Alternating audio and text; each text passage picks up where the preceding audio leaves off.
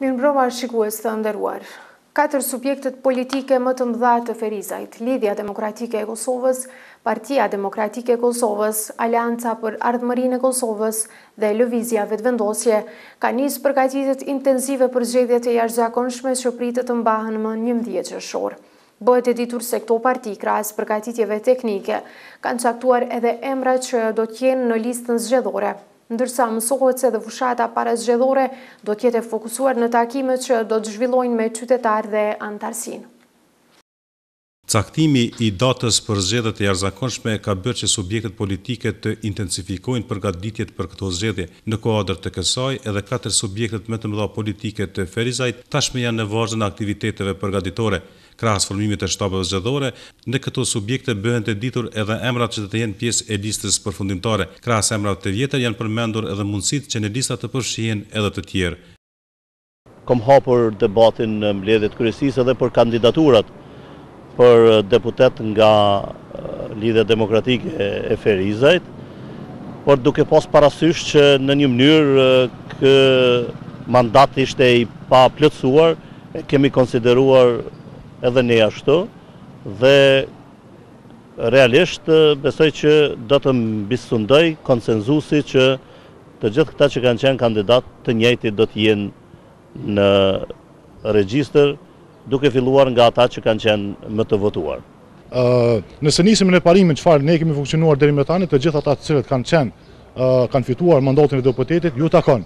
që të jenë pjesë e listave zgjedhore, por natyrisht që ne do të kemi edhe figura të reja, të cilat eh, shumë shpejt do të bëhen publike edhe për opinionin ferizajas, por edhe për opinionin e gjerë. Me statutin e Partisë Demokratike, eh, eh, ne si degë bëjmë vetëm propozime, ndërsa vendimet i takon nivelit qëndror, respektivisht kryetarit të partisë. Sa i përket kandidaturave të mundshme, në Lëvizjen Vetëvendosje e kanë të lirë të konkurrojë çdo individ që mendon se na përfaqëson mirë dhe është i denjë për atë punë.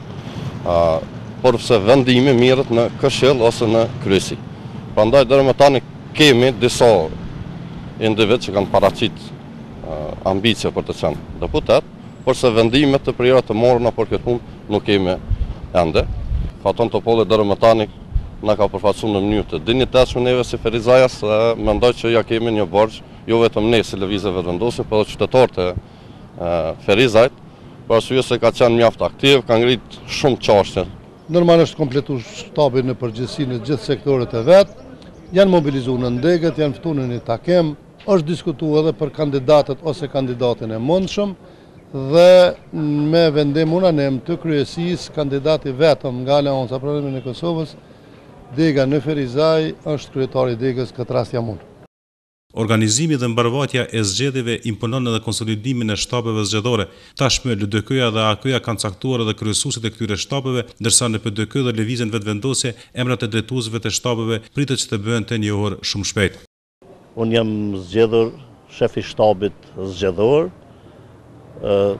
jam në konsolidim të shtabit akoma, të përbërjes së shtabit, kam caktuar zotin Ismail Nazifin, sekretarin teknik në seli të LDK-së për koordinator të komisionerëve dhe të vëzhguesve, një punë të cilën e ka kryer me shumë kompetencë edhe në bazë të përvojës që ka, po ashtu do të caktoj edhe personelin tjetër i cili do të përplotësojë shtabin zgjedhor. Sa i përket degës, në kuadrë të degës është formu shtabi, është përcaktu menagjeri apo shefi i shtabit zgjedhor për këto zgjedhje. Kryetar shtabi është Naim Ferati, nënkryetari i degës, njëherit edhe drejtor.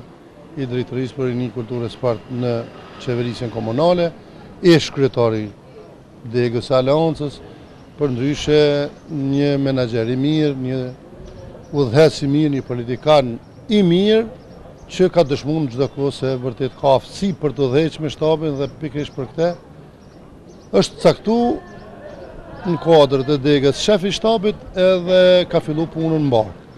Partia Demokratike, respektivisht dega në Ferizaj, ka fillu përgatitjet e saj, duke filluar jo vetëm me shtabin në nivel dege, po që nga seksionet, nëndegët, duke organizuar strukturat tona, deri në nivelin e shtabeve dhe organizimeve të tjera, të gjitha çështjet teknike dhe procedurale, ligjore, pothuajse tashmë janë të përmbyllura, jemi në konsolidim.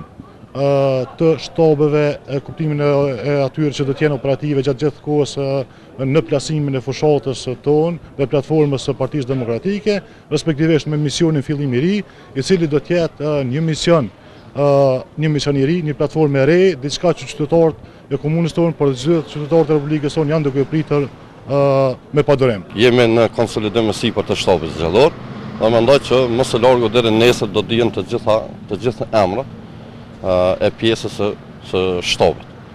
Tu përfshi kryesuesin e shtabit dhe bashkëpunëtorët e tij.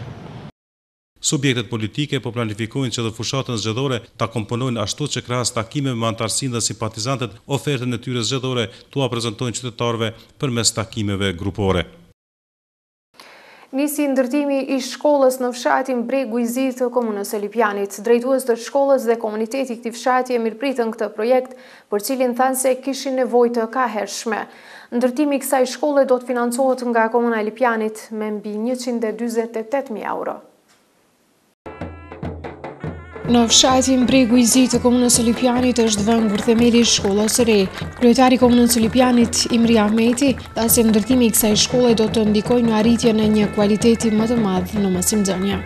Kjo datë është e veçantë për ne sepse po qitet gurthemeli i një objekti shkollor jashtëzakonisht i nevojshëm për këtë lokalitet. Është objekti i dytë që kemi filluar, jemi në pritje të përfundimit të procedurave edhe për një objekt tjetër shkollor në fshatin Rubovc.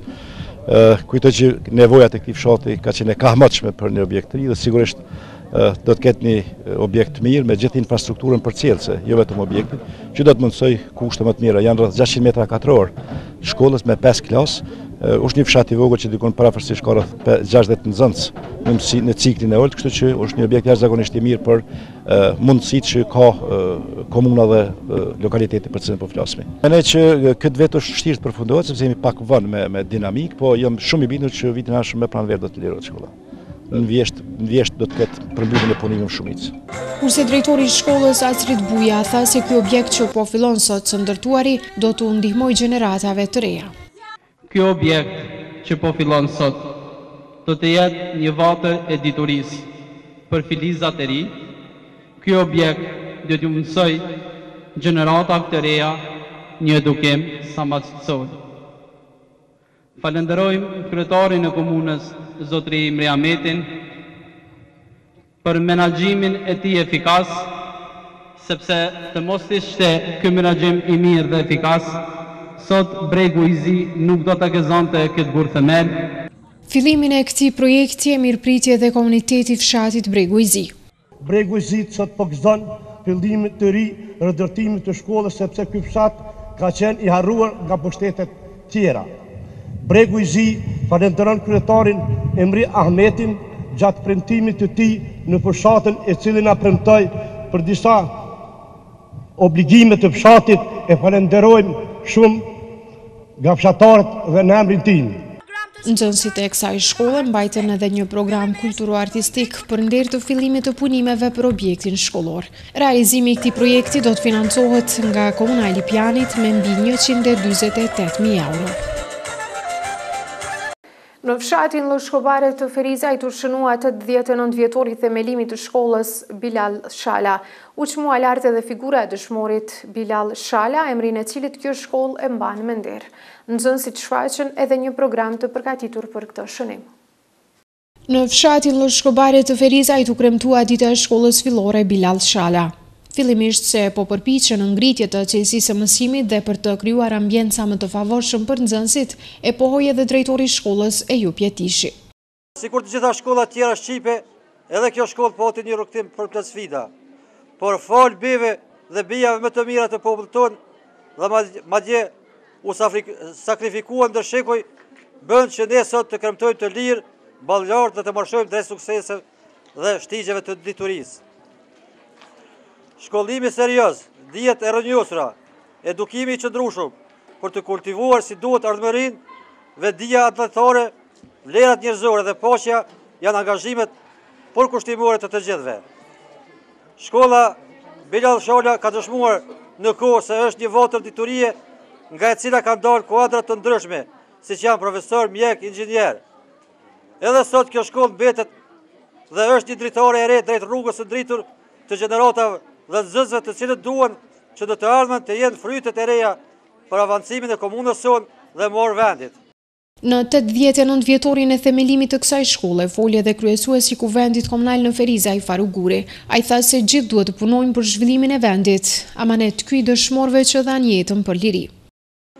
Para njëzet vite ka qenë e pamundur të mendohet që do ta kemi një ditë të tillë, do të jemi të lirë, që të mësojmë të pafrikësuar se dikush do të na nxjerrë, do t'i nxjerrë këta nxënës nga shkolla, Arsimtarët të pafrikësuar që do të mbajnë mësim, mirëpo kjo ditë fatmirësisht ka ardhë duke ju falenderue punës, kontributit dhe natyrisht gjakut të dëshmorëve brez pas breze dhe të luftës fundit që qëndrojnë në themelet e këtij shteti. Edhe shkolla e Lloshkobares e mban emrin e një dëshmori. Kryetari i Organizatës së Veteranëve të Luftës në Ferizaj Rafi Sejdiu tha se edhe dëshmori Bilal Shala si të tjerët sakrifikoi jetën që nxënësit sot të mësojnë lirshëm shqipen. Unë e përgëzoj shumë kolektivin e kësaj shkolle që kësaj shkolle ia ka lënë emrin e dëshmorit Bilal Shala. Kam besimin se që nga kjo shkollë do të dalin edhe shumë Bilalla tjerë, por dashtë Zoti e mos të ketë nevojë që si Bilalli të bën luft, por këta nxënës që dalin këtu ta ndihmojnë Kosovën në shkencë, në përparim dhe në prosperitet. Nxënësit e kësaj shkolle, talentin e tyre në kulturë e art e shprehën edhe nëpërmjet një programi të përgatitur enkas për këtë shënim. Vazhdojmë me të tjera informacione, u asfaltua rruga Qamil Ilazi në Ferizaj, rrugë kjo e cila lidhet edhe me rrugën Rexhep Bislimi. Rregullimi i kësaj rruge u mirëprit edhe nga banorët e kësaj lagjeje. Ata thanë se nga tani do ta kenë më të lehtë qarkullimin. Asfaltimi i kësaj rruge u financua nga Komuna e Ferizajt me mbi tridhjetë e dy mijë euro. U asfaltua rruga Qamil Ilazi në Ferizaj, rrugë kjo e cila lidhet me rrugën Rexhep Bislimi si dhe ka qasje në rrugë të tjera të qytetit. Rregullimi i kësaj rruge u mirëprit edhe nga banorët e kësaj lagjeje. Ata thanë se nga tani do ta kenë më të lehtë qarkullimin. Kemi pas vështirësi pak për këtë dimër që kaloi për shkak të rrugës po duke ju falënderuar Kuvendit Komunal e zotëri Gafur Ilazit me ndihmën e tyne kjo rrugë sot po përfundon si është ma s'miri dhe jetë për vetëm falënderime tjetër nuk ka ato hjekat pak sa kanë qenë ato mujnë të harrohen por qaq ka qenë mundësia për një afat Të shkurt shumë kohor që ka mujt me bo, po me siguri do do të kemi lehtësime shumë të mëdha tash në qarkullimin e kësaj rruge. Mirë, fort mirë. A keni pas vështirësi më herët? Po, po, po, u kon pllumi na ka sakatu. Plon i madh, bira të mëdha me kerre kërcitshin bo gjinja aty shky kartera e kerreve, po tash me sotin do të shkon mirë puna, edhe mirë është. Po rruga mirë për shka të punohet më mirë. Kjo rrugë që dy vjet goti që këtu ka qenë Pa lidhje ka qenë gropa, nxënësa të tjerët që kanë me të tjerët që qenë gjashtë mujë që aty. E shkatë punohet mirë është. E drejtori i infrastrukturës në Ferizaj Gafur Ilazi tha se më parë kjo rrugë ka qenë e dëmtuar dhe pa kanalizim. Ilazi shtoi se Komuna e Ferizajt po punon edhe në realizimin e projekteve të tjera infrastrukturore. Po është një projekt i cili veç ka fillu vitin e kalum. Vitin e kalum e kena bërë kanalizimin fekal në një gjatësi prej 195 metrave, kurse për shkak se toka ka qenë shumë që është shem, kështu që është duhë me prit që këtë vit ta bojmë asfaltimin, sepse për shkak t'kanalizimit nuk kena mujtë që ta përfundojmë vitin e kalum, Dhe tashme veç është ju dhan shtresa e parë. Ka banorët është prit shumë mirë, për arsye sepse kjo ka qenë ma herët një rrugë që ka qenë shumë e damtuar, e se përveç që ka qenë rruga e damtuar, ka pas probleme edhe me kanalizim. Presim tash shtresën e dytë në Talinoc të Muhaxherëve me ja dhanë, janë këto pregaditjen. ra vic dhe në Softaj dhe është u punu edhe në Greme dhe në rrugë tjera ashtu. U bë e ditur se asfaltimi i kësaj rruge u financua nga Komuna e Ferizajt me afër tridhjetë e dy mijë euro. Filloi java e punës praktike e studentëve në Universitetin e Ferizajt. U theksua se këto punëtori janë nga dëshmitë më të mira në praktikë se këta studentë janë të gatshëm për tregun e punës. Studentët e Fakultetit të Arkitekturës, Dizajnit dhe Teknologjisë së Drurit, si dhe studentët e Turizmit dhe Ambientit të Universitetit të Shkencave të Aplikuara në Ferizaj, bashkë me profesorët e tyre, nisën javën praktike në hapësirat e Universitetit të Ferizajt. Punëtoritë u organizuan në kuadër të lëndëve që përmbajnë këto dy fakultete. Studentët e Fakultetit të Arkitekturës, Dizajnit dhe Teknologjisë së Drurit dizajnuan hapësirën e brendshme të Universitetit, ndërsa studentët e Fakultetit të Turizmit dhe Ambientit shërbyen pije dhe ushqime të përgatitura nga vetë ata. Rektori i Universitetit të Ferizajt, Agron Bajraktari, u shpreh i kënaqur që studentët po tregojnë arritje të konsiderueshme në profesionin e tyre. Ai theksoi se këto punëtori janë nga dëshmitë më të mira në praktikë, se këta studentë janë të gatshëm për tregun e punës. Gjatë kësaj jave, studentët e Universitetit të Ferizajt do të praktikojnë aktivitetet e tyre, të cilat zhvillohen brenda një biznesi. Vazhdojmë me kulturë. Edicioni i dytë i Mural Festit zyrtarisht pritet të fillojë pasnesër. Festivali Ndërkombëtar i Muraleve, që solemnisht nis në sheshin Ismail Kadare, do të zgjasë deri më njëzet e tre maj. Temë e këtij festivali do të jetë Mbrojtja e mjedisit. Drejtues të Festivalit të Muraleve thanë se në konkurrencë janë rreth dyzet artistë nga Kosova, Shqipëria dhe vendet e tjera. Edicioni i dytë i Muralfestit zyrtarisht pritet të fillojë pasnesër, e për këtë u tha se janë bërë të gjitha përgatitjet e duhura. U mësua se festivali ndërkombëtar Muralfest do të hapet solemnisht në sheshin Ismail Kadare. Drejtoresha e festivalit Muralfest, Lebibe Topalli, tha se festivali i muraleve do të zgjasë nga shtatëmbëdhjetë maji deri më njëzet e tre maj. Kemi gjithçka është gati, ne jemi në përgatitje sipër. Me thënë startojmë prej të mërkurës në ora gjashtë tek sheshi Ismail Kadare tani që është quajtur kjo hapësirë tek Teatri i qytetit tonë Adriana Abdullahu. Festivali është i kufizuar, domethënë një javor, megjithëse me ceremoninë e hapjes dhe të mbylljes i bjen 5 ditë pune. Ne duke për këtë arsye edhe kemi përfshi shumë artista, domethënë për që brenda këtyre 5 ditëve të përfundohet gjithçka. Ne më së pari shpresojmë që mos bjerë shi, se kjo na bën shumë dëm, po në anën tjetër nëse është janë kushtet e mirë, domethënë gjithçka do të shkojë në rregull. Për këtë festival, fillimisht u tha se janë caktuar tri hapësira publike në të cilat do të punojnë artistët e përcaktuar nga audicioni. E drejtues të këtij festivali theksuan se këtë vit do të jetë një përfshirje e madhe artistëve.